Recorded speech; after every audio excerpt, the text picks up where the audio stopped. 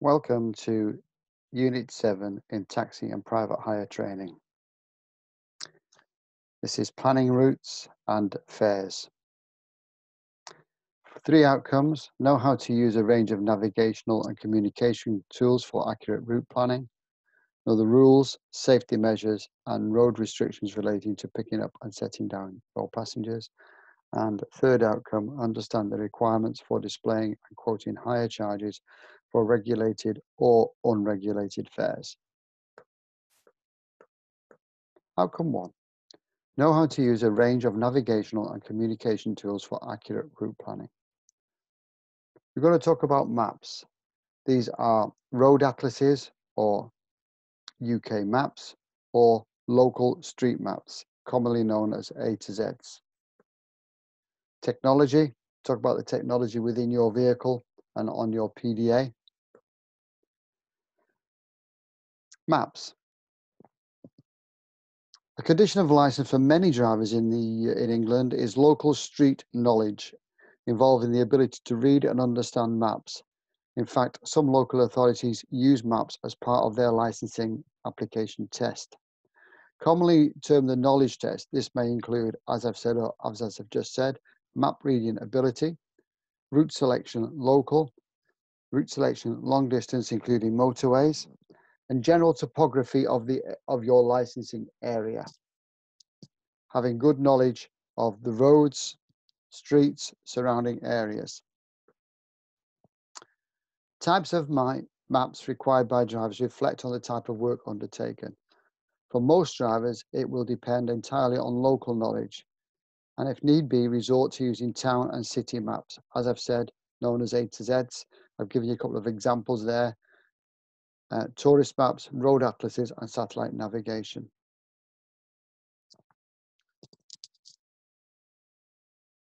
Typical maps available to the driver, as I've mentioned. This is a small excerpt from a page in one of the maps, a street map. The small photograph shows an enlarged area of an AA street map showing Richmond Lane on page 6, which you can see on the top left-hand corner, and the street reference A2. In other words, you would look where the column of A meets the line of 2, and you will find Richmond Lane. You will find um, these addresses in the index at the rear of the map book. That also applies to road atlases and UK maps. There are symbols on the, on the map excerpt I have on the right hand side. How many of these symbols can you recognize? Let's go through them. The P is obvious parking. On the top right hand corner, we have the M in a house. That is a museum. In fact, it even tells you what type of museum, the Hall of Aviation. The bottom right hand corner, we have some masks. This is live theatre, live entertainment, song, dance, theatre, plays, etc. Alongside that, we have a business center, which is colored. You will find certain things like hospitals and schools will be in different colors in the symbols at the front of the map book. There's a Virgin Cinema complex, as you can see. Top left-hand corner, we have some roads and streets with red arrows. This indicates a one-way system.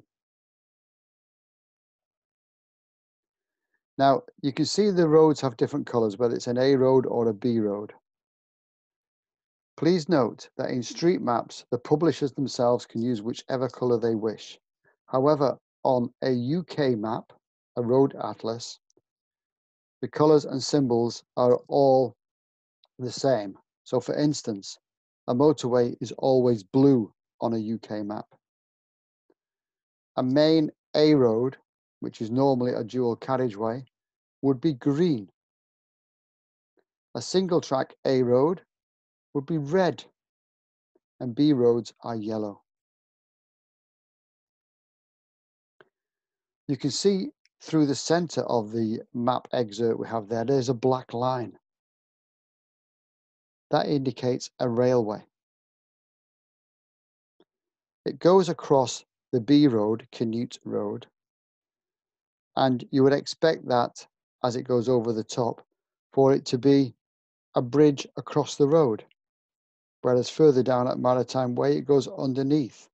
So Maritime Way is the actual bridge across. However, there's a symbol next to the black line on Canute Road saying LC. Very important for motorists as this indicates that there is a level crossing. So you may get held up from time to time when the trains are going past. Other symbols to watch out for. PO, post office. PC, public convenience. And as I've said, LC, level crossing. Other symbols that are not shown on that street map there, and symbols that you would find in ordnance survey maps, no matter what the scale, whether it be 1 to 25,000 or 1 to 50,000, scale is irrelevant. It's the symbol you are looking for. An italicized I is information center. A cross, like a plus sign, would be a place of worship, whether that be a mosque, a church, a chapel, a temple, or a synagogue. Also, you may want to watch out for, particularly London drivers at uh, TFL, is a sign looking like the underground that is red. That would be a bus or coach station. So, once you've found in the rear of the book, the map book, the street or town you're looking for, it will give you page number and grid reference. So for instance, 42, C3, 42 is the page number, it's just numbers. C3 is a letter and a number, is the place on the grid where you would find your destination. Good local knowledge has important benefits in terms of accuracy, so that a customer's expectations are met in the terms of fare.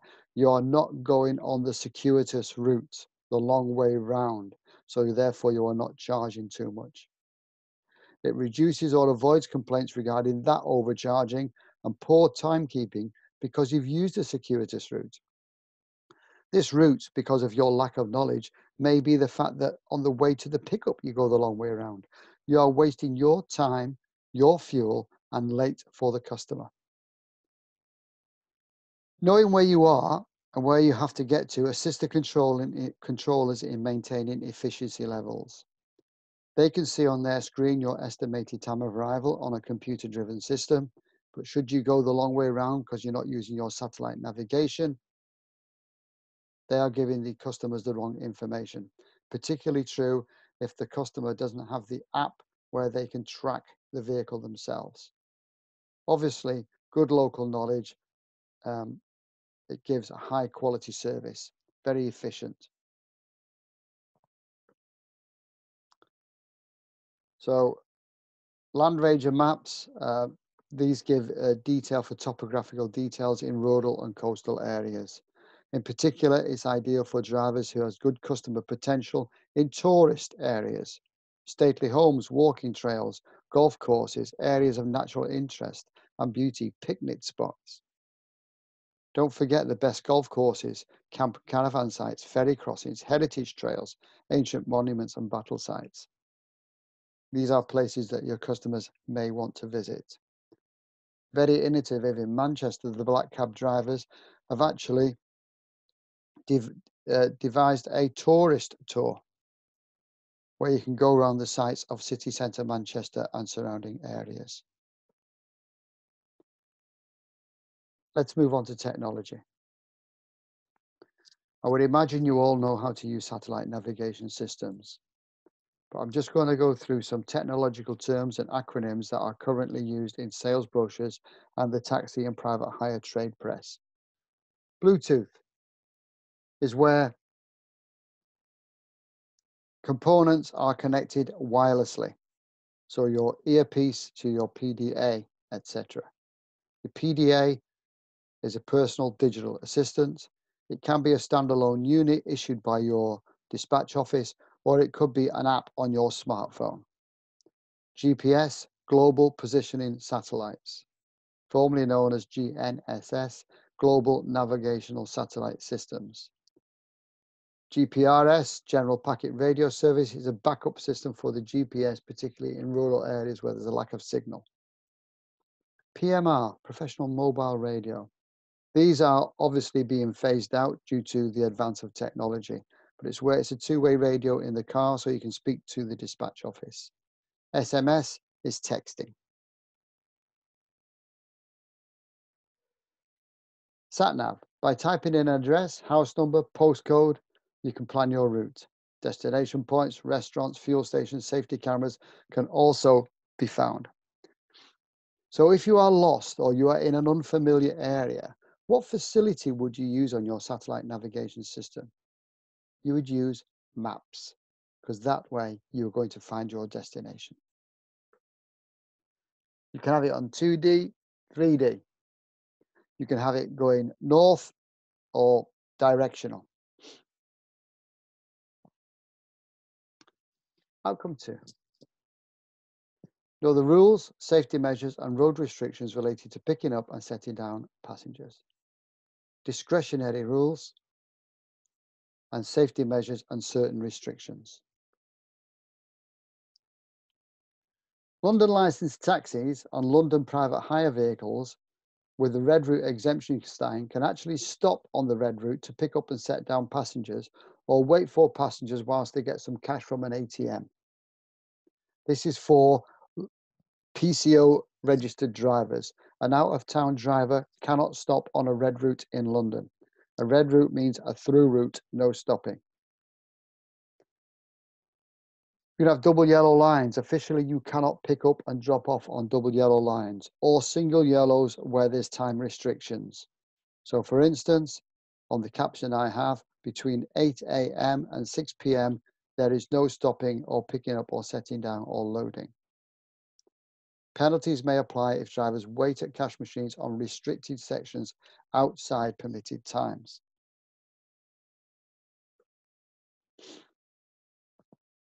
In Unit 6, we covered all about disabled passengers. Should you have a disabled passenger and they wish to be dropped off at their destination, which may be a doctor's surgeries or a bank or a library, and there are double yellow lines, there is usually no set time limit for stopping and setting down as it may take a disabled passenger considerable time to board or alight from your vehicle.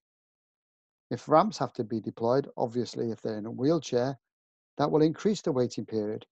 The priority here is the safety of the passengers. You do not rush. It takes as long as it takes. Don't forget, should you get a penalty charge notice, particularly while you're helping a disabled person or someone else that needs assistance, you appeal through your licensing authority.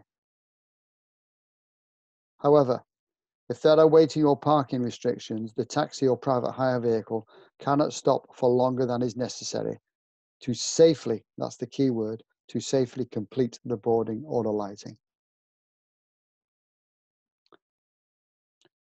Bus lanes. In London, taxis can pick up and set down in a bus lane, even if they're not allowed to drive in a bus lane. This applies in most areas. Should your customer be at a pickup spot where there's a bus lane, you can go into that bus lane to pick up. However, you must rejoin the main carriageway as soon as it is safe to do so. Drive along the bus lane with your indicator on and join the main flow of traffic when it is safe to do so. Some licensing authorities allow private hire drivers to drive in bus lanes. The majority do allow taxi drivers to drive in bus lanes. The only thing I can say about bus lanes for you is read the signs. Some are 24 hour as well. Some are rush hour only. For instance, 7 a.m. till 10 a.m and 4 p.m. till 7 p.m. Bus stops. Be particularly careful when using bus stops to board and alight your passengers. I would always recommend that you drive slightly four or five yards beyond the bus stop so you're not hindering the bus driver from doing his duties at the bus stop. Should you stop before the bus stop, the bus driver will have to go around you to access the bus stop. So do not obstruct the bus from entering the stop. If you are at the bus stop, the low floor is no, no longer accessible. We have a high curb and a low floor, so people can easily step onto the bus. Anybody elderly and disabled find it difficulty in boarding and lighting if the bus has to stop elsewhere. And obviously the bus driver uh, is delayed at the stop, can't carry out his duties. Safety measures and restrictions. At airports and rail stations, you should always cooperate with police and security staff, particularly as we're on high alert regarding terrorism. At hospitals, always cooperate with security so that you are not blocking emergency entrances and exits.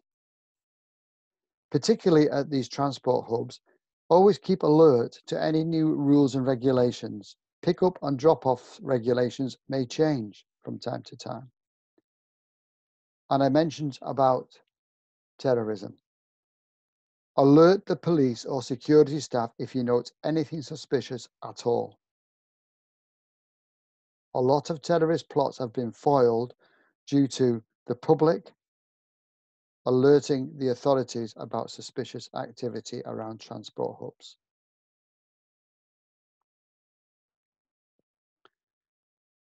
At meet and greet at the airport, note your parking area. Always be prepared to assist passengers.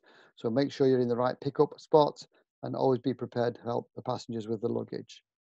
Always ensure that it is your customer that has booked the vehicle. And be patient. Restrictions are a nuisance. They're there for a reason usually for security reasons. Follow the signs, follow the rank instructions, the rank guidelines. Do not take instructions from your customer as this may be breaking the rules on the rank guidelines. Outcome three, understand the requirements for displaying or quoting hire charges for regulated or unregulated fares. We're going to talk about fare tables, private hire charges, booking and dispatch systems, PDAs, taximeters, data heads and any peripherals, cash reconcil reconciliation and accounting. With Hackney drivers, taxi drivers, the fare table is fixed by the district council, the local authority. From time to time, they may change the rates in connection with the hire of the Hackney carriage and publish them as fare, table of fares. This table of fares is a legal document and has to be displayed inside the carriage in a position that is clearly visible to the passengers so that they can see a breakdown of all the charges. The local licensing authority will inform the taxi driver as to the parameters of his or her operation. This will be the local licensing boundary or controlled district. Within the boundary, the tariff sheet from the fare table will be used. You will use the meter to dictate the fare charge. Going outside of the boundary, the driver should agree a set fare with his customer before the start of the journey, which allows the meter to be turned off. Where would the driver get these fares from? If he joins the local Hackney Association, he would get it from a fare table issued in a booklet by the association. Also, when a driver does agree a fare with the customer and goes out of area, he should make a note of the date, time, pickup, destination, and the fare he charged in his diary. So he has a paper record should there be any questions asked about that particular fare. Because the council issues the fare table for Hackney drivers, a council who wishes to fix new fares or change any of the charges must publish them in at least one local newspaper with any objections to be raised by the public within 14 days from the date of publication. Don't forget, this new table of fares or tariff sheet must be displayed inside the Hackney carriage in a position that is clearly visible to all of the passengers. All Hackney drivers have to install a tariff meter, a fare meter. So electronic taximeters store tariff structurally. This is stored electronically. The structure usually holds a number of tariffs for operational use. Here is just a, one example. Tariff one is what's known as the day tariff, which is the tariff you see on the fare sheet. I've put, for instance, half past six in the morning till midnight. Tariff two, night tariff. This might be 25% extra, or in some areas 33% extra, midnight to 6.30 the following morning. And sometimes this includes a Sunday tariff. Tariff three, bank holidays, could be as much as 50% extra on the on the on the fare. And tariff four, this would apply at Christmas and New Year, Christmas Eve, Christmas Day, Boxing Day, New Year's Eve, and New Year's Day. This is normally a 100% increase, so double the fare. Also, with on the tariff sheet, extras are listed, such as luggage, extra passengers, dogs, but not assistance dogs. You cannot charge for assistance dogs.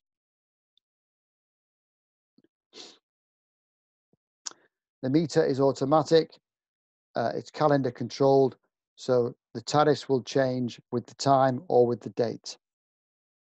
It is not a manual operation. Another tariff that's not included there, the tariff on the fare table is normally set for four or five passengers. Should exceed that, there is normally a 50% charge added to the displayed fare or you can go onto tariff two yourself for extra passengers if your licensing authority allowed allow you to do so. The tariff is broken down into a number of pricing elements. So again, an example. We have the flag fare, which is the fare that shows on the meter as the as the meter is started when the customer is prepared to start the journey traveling up to a mile, it will increase, two miles increase, obviously. It's based on yardage. So the it will click up 20 pence, for instance, at so many yards until it reaches the final fare. It will also include time. When the vehicle is stationary for more than 59 seconds, we'll click up 20 pence or even 25 pence a minute, depending on the tariff set by the local authority. In the private hire monthly, a driver can compare fares across the UK to see which areas are, uh, are basically more affluent and charging more money. Private hire driver. Once again, the taximeter for the period of hire is the, is the preferred and best option. This is usually built into your PDA or data head. Should you be on the old radio system, you will need to have a standalone meter However, there is no law in the UK that says a private hire driver has to have a meter. He can work on charts with mileage on his odometer. He can work on set fares from one area to another. If requested, the driver should give an approximate cost of the metered journey. Uh, they can use the fares from a book of fares issued by the local association going out of town. This is private hire charge for the taxi driver. The meters not used, therefore, the fare cost should always be given to the hirer in advance before the journey starts. If you cannot agree on a set fare, or if the customer insists you use the meter, then you use the meter. Private hire drivers, as I say, taxi meter, best option. Uh, there's no law in the UK for private hire drivers to have meters, but you normally would have, as I say, in your PDA or data head. Once again, if requested, an approximate cost of the journey should be given to the hire, hired by either the driver or the operator if the driver is unsure. The private hire costs need to be competitive. They are usually lower than the Hackney rate. You can't charge more than the Hackney rate. And the hire charges will be displayed within the company office so the staff can see a breakdown of all the charges. Should you have a waiting room, these hire charges will be displayed in the waiting room so that the public can see a breakdown of all the charges. This is an operator's condition of license. Obviously, with technology nowadays, private hire drivers have no need to return to the operator's office for the next job. It's not a requirement anyway under any legislation. The driver can be contacted by the controller or sent a job on his PDA or data head. It's very efficient. The private hire driver should take the most direct route available. I've mentioned it a few times. You must not go the long route or the circuitous route. The fares are normally based on postcode addresses with carefully timed distances to ensure that they are competitive with their competition. Cheapest is not always the best, but you need to be competitive. You have to give value for money. You should also give a clear indication to the customer the duration of the journey. You can see this on your PD, PDA or data head where it says estimated time of arrival. Your system should take any contingencies, holdups in traffic into the equation before the journey starts. It may be that you want to go on an alternative route. However, if you do this, you have to get the agreement of the customer. So any holdups or delays, inform the customer of the holdups. Suggest an alternative route. Then, if the customer agrees, and only then, the driver has the authority to progress by the alternative route he has suggested.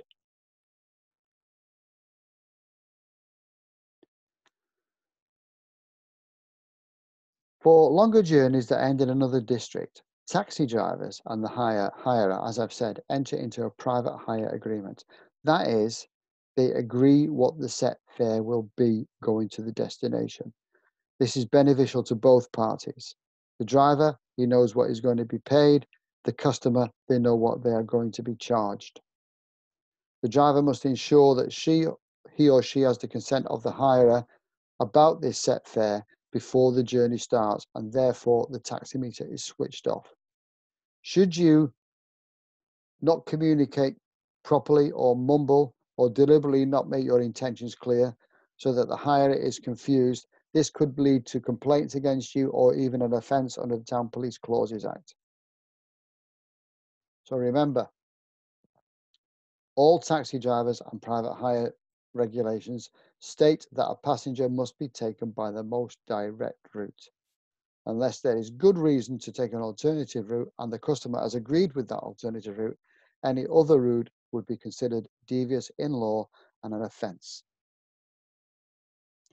Should the customer give you instructions about the route they want to take, even though that might be a longer route, and you advise them that that is a longer route, they insist that they still want to go that route, you would follow the customer's instructions and it is not considered to be an offence. Booking and dispatch systems. We're going to talk about uh, larger private hire operators. Uh, they can invest in a fully integrated computer facility, which is the norm nowadays. The operator investment is a, in a fully integrated computer facility can include such features as GPS, global positioning satellite, tracking facility. They know where you are and what you are doing. All computerized booking systems uh, will recognize existing customers' phone numbers with addresses and their regular destinations. Data dispatch is much quieter than the, the old radio voice messaging. Um, there is predictive plotting of vehicle speeds and movements, so they know how long you're going to take for the pickup or to the drop off, and they can inform the customer of such. Also, there's an app that the customer can have on their smartphone where they can actually track the vehicle themselves. Uh, you can have auto book on the system, which is where when you phone the uh, dispatch office, it will say, if you are at, let's just make an address up, a home address, uh, 7 Maruba Court, and you want a taxi now, press 1. Should you need to speak to the operator, press zero. The benefits of Autobook is all calls are answered. It takes priority on the system when you press one so that the job goes straight out to the nearest driver. So it's very efficient. And another major benefit is it helps customers who have hearing impairments because it is a computer speaking clearly to you and you're not picking up any background or peripheral noise from the dispatch office. Another feature on your PDA or data head is the call and text back facility.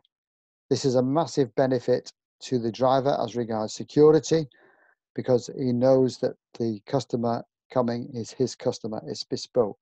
It's a massive advantage to the customer too, because he can be in the pub or restaurant and the message comes through to him that the taxi or the private hire vehicle has arrived. And on that, it may give the car registration number, the driver name, and with some, with some uh, companies, even a photograph of the driver. So that gives security and safety to the customer as well.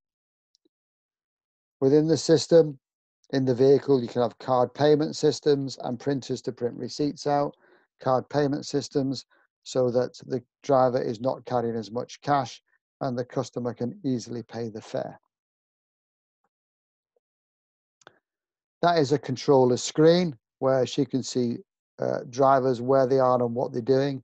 P, the drivers are parked up. Um, where they're red, uh, they are busy with a T in, they're on time. L in, they're slightly behind schedule, so they're late. The yellow symbol is where drivers are busy at the moment, but they are soon to clear. They are within a couple of minutes of dropping their passengers off. We've got the green one, the green symbol where the drivers are available. We have a bus symbol. On the left hand side, we have H in purple. These are drivers on account work for hotels. Um, you can set this system up with the technology experts to suit your own system. So you can use whichever symbols you want.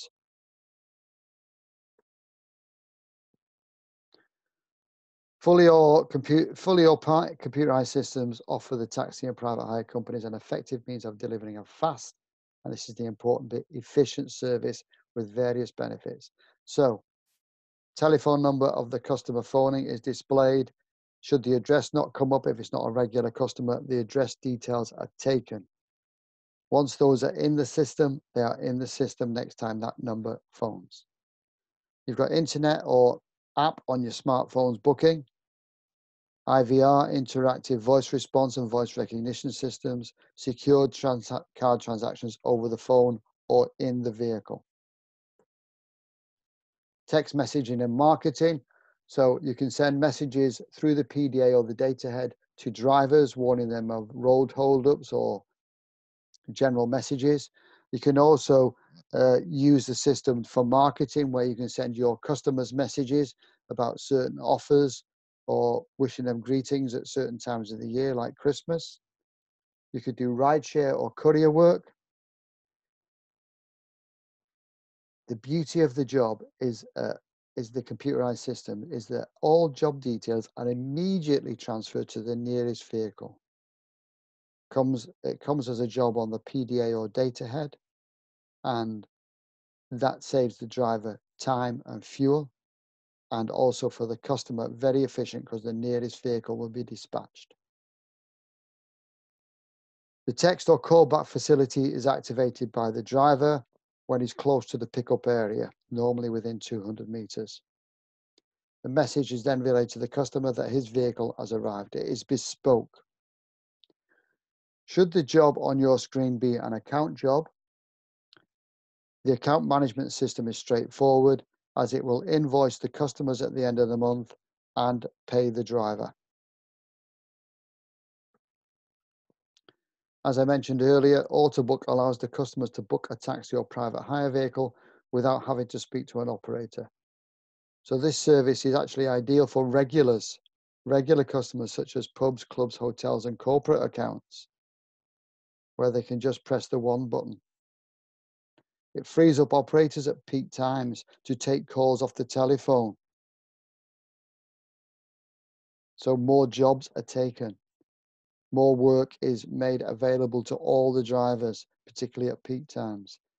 Autobook a response to all customers that call. And as I mentioned, it's a massive benefit for customers with impaired hearing because of the lack of background noise. Let's talk about text and callback again. Obviously, it speeds up the operation by reducing waiting times. Nearest car to the job is sent. Offers its bespoke service to customers. The, the customer will get a text message to say that the vehicle has dis been dispatched. It will say that the vehicle has arrived or will be arriving shortly. It assists the driver in reducing the number of no jobs. Uh, no jobs is where the driver cannot find or trace the customer. A message comes to the customer's phone, no matter where they are or how busy the pub or club or restaurant is.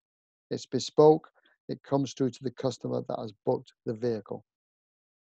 It's a massive increase for security for drivers, particularly in risky or rougher areas where there's been a history of robberies and muggings. So, for instance, high-rise flats, high-risk areas where there's subways, etc., or very compact uh, housing or lack of street lighting. Mentioned in uh, Unit 6, customers with Travel Pass can have their fares discounted with agreement with the local authority. If your company is part of the Travel Pass, Freedom Pass, or Taxi Voucher scheme, your fare has to be adjusted to take into account these discounts. Should the passenger give you a, a travel voucher for the full fare, this is legal tender and can be redeemed at your dispatch office. You cannot refuse to give the discounted fare or cannot refuse to accept the travel voucher. Should your passenger have a parking pass for disabled parking pass, this can be used by the taxi or private hire driver to park in disabled bays and wait on double yellows um, whilst the customer is coming to you or getting out of the vehicle.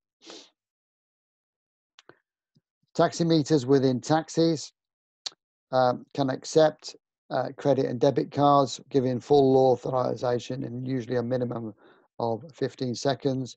They can also print a customer receipts. As regards your PDA or data head, you would have to give a handwritten receipt. Don't forget, should the customer wish to have a receipt, you need to provide one. A receipt will help reconcile your day's take-ins and it's always given when a customer asks for one. The taximeter can handle multiple and progressive tariffs. So we've got tariff one, day tariff, tariff two, the night tariff or Sunday tariff, tariff three, bank holidays, and tariff four, Christmas and New Year. These are all automatic, managed by time, date. So the meter would change automatically. You do not do anything manually. Also contacts it contacts the uh, the fare on distance and time. So within the meter, you can do end of shift reports. End of shift is important because you may be sharing that vehicle with another driver. You don't want to do end of day reports because you may get the other driver's take-ins within their meter. You can have password protection, fully calendar control, don't forget, totalizing functions so you can do end of shift, end of week, etc external ports for putting peripheral printers on, etc. Fully integrated system. The meter on a taxi is connected to the roof sign. So when the vehicle is for hire, the sign is illuminated. When the vehicle is hired and the meter is started, the roof sign would be extinguished turned off. Fully computerized systems, integrated systems. The advantages, much safer. You get the correct customer and the driver is safer too. It's more responsive, it's much quicker, much efficient. There are fuel savings for the driver and less dead time, less running time. There are much fewer complaints for the customer, again, because it's more efficient and they're being contacted via text, kept up to date with where the driver is. Disadvantages As with all technology, it is costly and does still require trust from the drivers to the dispatchers because they can be overridden manually. So therefore, all controllers and dispatchers have to be totally impartial and let the computer do its job. Should they override a job, it's usually because it's an important pickup where someone has a train or a plane to catch. As with all technology, it becomes increasingly out of date. So you need to keep on top of things if you want to be the best in your area. So you need to invest in future technology constantly. On that picture, that taxi driver is available for hire. It indicates the taxi is empty. He's looking for customers. He's either on the rank or he's driving around his borough. Once he's hired, the taxi meter enters in at this stage at the start of the trip and the hire sign is therefore extinguished as soon as the meter is, commenced, is started. At this stage, the running fare and the present fare are tariff displayed. So the flag fare is displayed, and as soon as he starts the journey, the running fare is continually displayed. Additional information can be uh, put into the meter at the start of the journey, which are the extras for luggage, etc. So, at the end of the journey, the driver will press the stop button this would show the metered fare and any extras that were put on at the start of the journey. So on the caption I have there, the total fare would be £20 and 20 pence. At the end of the hire, the driver enters the stage to collect the payment. He will give change and provide a receipt if required. Once he clears the meter, the exterior roof light will illuminate again to alert potential passengers that is available for hire once again. This is why you would give a set fare going out of your district. Should you have a meter fare going out of district and you press the clear button, automatically your roof light will come on saying you are available for hire. This is an offence because you are out of area. On a set fare, the light would be extinguished anyway. Example I've got there, flag fare, start of journey. After 600 yards, it clicks up. And every 200 yards after that, if you've got waiting time, more than 59 seconds, it would click up again. This is all automatic, don't forget, automatic. But also don't forget that vehicle size is also a tariff. So if you've got more than four or five passengers, depending on your tariff table, that could be a tariff as well. Distance traveled, waiting time is flipped automatically.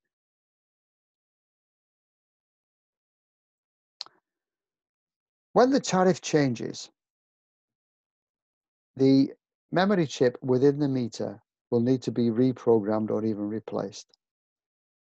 Really, this is also this is required whenever the licensing authority makes any changes at all to the tariff whether that includes clock times, calendar dates within the tariff itself. So the day tariff might change from from 6.30 a.m. till 6 a.m., for instance.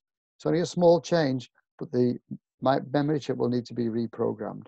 It could be that some of the extra charges, for instance, for luggage, may be increased from 20 pence to 25 pence, for instance. Once again, the memory chip will need to be reprogrammed. Who carries out the reprogram of the memory chip?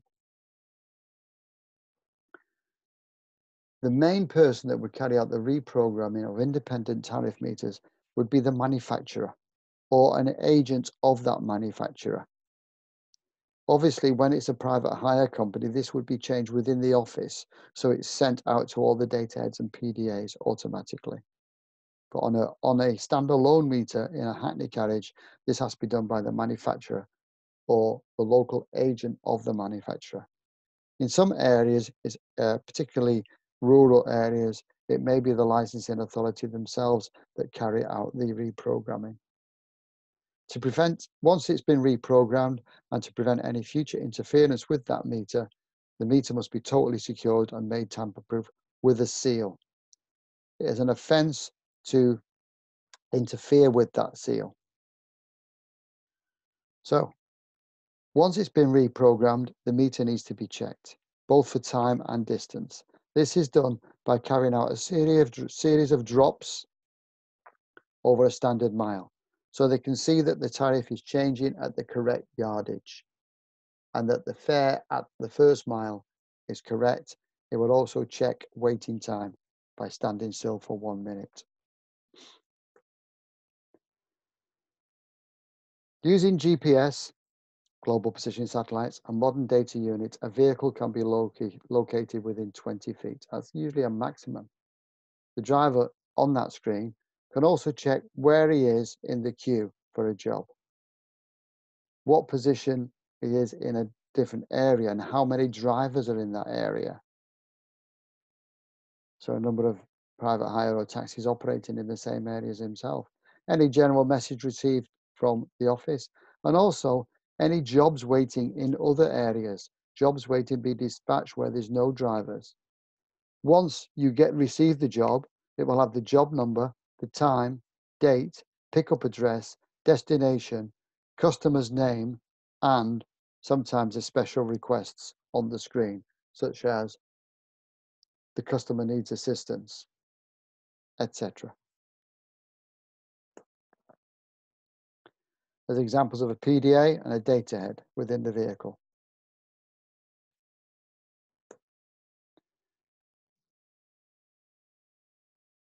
We're going to talk about cash reconciliation. It is still in the main a cash industry, although more and more companies are accepting payment by card, whether it be debit or credit card. You must be able to calculate change, so you must have be able to do good mathematics. So the passenger should have their change counted to the amount offered. For example, if a £5 note is offered for a £2.60 fare, the driver should count the change, two times 20 pence, two times one pound coin, and save the customer £2.40 in change before handing it over. Actually show them the change as well before handing it over. This method is better and safer than counting, handing out uncounting change to a passenger who may later disagree with your calculation.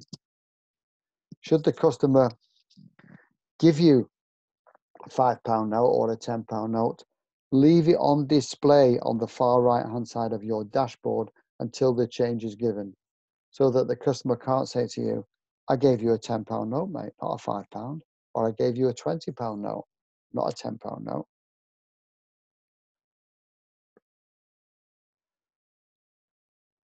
Keep accounts. You are self-employed. Keep a weekly account book. That way you can see all your income and expenditure and thereby make savings or change your shifts to increase your income. You may find that it's better to work on a Sunday day rather than a Saturday night due to the fact there's less drivers out there. As a new driver, over a period of a couple of months, change your shifts log your hours, log your mileage, and log your income. That way you can see which the most efficient and best way to work to earn.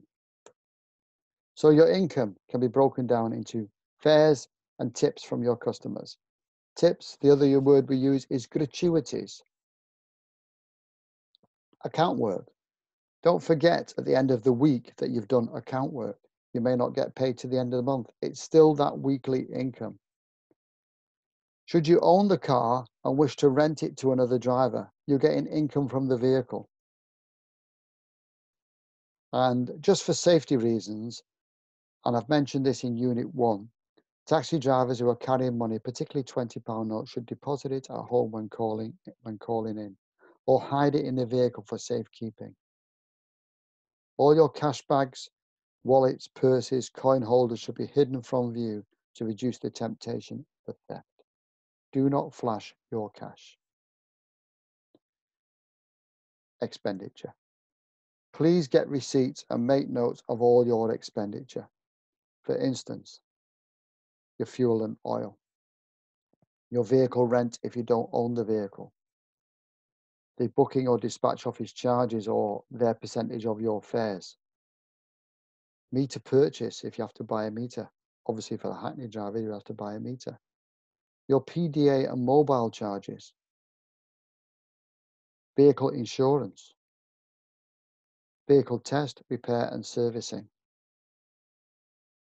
This is one a lot of drivers ignore. Vehicle cleaning and valeting. If you're paying £10 a week for cleaning of the vehicle, it's £500 a year. You will get 20% tax relief on that, which is £100. Your road fund license, print out your receipt. Should you be high, should be have your per, uh, vehicle on hire purchase or through a loan arrangement where you're paying so much off a month with the interest, you put that through on your accounts to get your tax relief. Medical fee with your doctor. This course that you've paid for, training and qualification fees. Should you have to wear a uniform, laundry of that uniform. The HMRC will normally allow you £2 a week for laundry charges, which is £100 a year, 20% tax relief. Licensing fees with your local authority. Should you join a local trade association, your subscription to that trade association. Any bank charges or fees. Miscellaneous items such as using your home for an office, particularly if you're a one-man band your personal pension. All these are expenditures where you will receive tax relief when doing your end of year accounts. I would recommend to all self employed people that you get a registered chartered accountant to do your accounts for you to send off your annual returns to HMRC.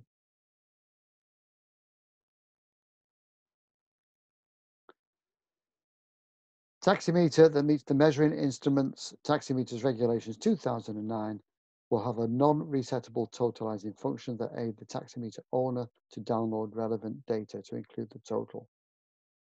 These can show distance traveled by the taxi, total distance, distance traveled when hired, so therefore you can work out what the dead mileage was by simple subtraction, the number of hirings on that particular shift, the amount of money charged of supplements or extras, and the amount of money charged as actual fares.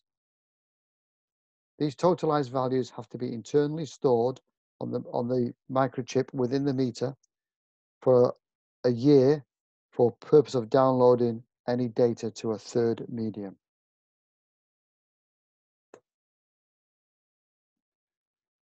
Modern dispatch systems allow operators to use price matrix to charge different rates. This is a chart starting and ending locations. So your particular licensing authority within the private hire industry will be split into zones. So they can have a chart stating the fare from zone one, for instance, to zone three is five pounds. Zone one to zone eight is 12 pounds, for instance. For each location, the operator can say how much the customer will pay, pay how much the driver will receive, and how much the operator will keep. This would normally be done as well where the operator owns the vehicle and you're on what we call a percentage of fares rather than a weekly track fee or a weekly radio fee, which is still the slang used. Um, percentage of fares, it could be 60 40, where you would provide your own fuel, or 50 50, where the operator would ensure that the car is full of fuel at the start of your shift. As I've said, for new drivers in particular, keep a record of your fares you take, your expenditures, your mileage, the time you actually worked, how long your shift was. Then you can calculate when it is best to work. Thank you for listening to Unit 7. Please check your understanding as this completes the unit. Review and check your understanding before moving on to the next unit. Thank you.